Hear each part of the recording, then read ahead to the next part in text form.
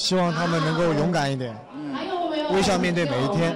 然后他们是最棒的。他知道我是打乒乓球的嘛，然后刚刚就画了这个给我，就是乒乓球的这个标给我。然后我觉得画得很好。和他们很多都是自闭症的孩子，所以他们都是活在自己的世界。呃，我也希望通过我们这次的活动，能带给他们一些积极向上的一些正能量吧。